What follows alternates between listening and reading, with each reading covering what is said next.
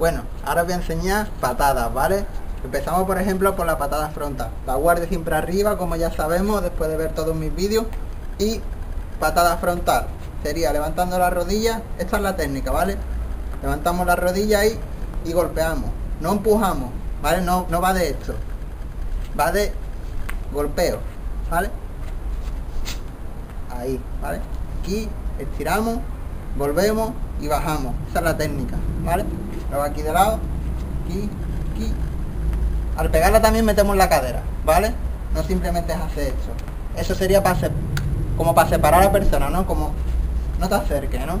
Pero después si queremos golpear de verdad, entonces aquí y metemos como la cadera. Ahí, un golpe.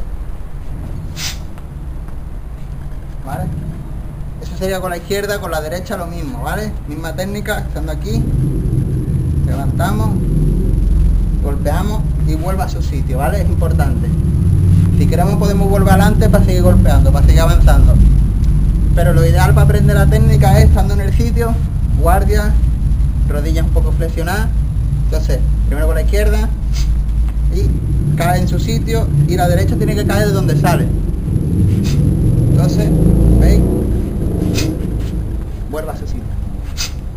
Y las manos siempre arriba, ¿vale? Aquí. Puede ser altura del ombligo, altura de cara, incluso altura baja. Lo que es ahí o a la cara. ¿Vale? Entonces, esa sería lo que es la frontal. La practicamos en varios sentidos, ¿vale?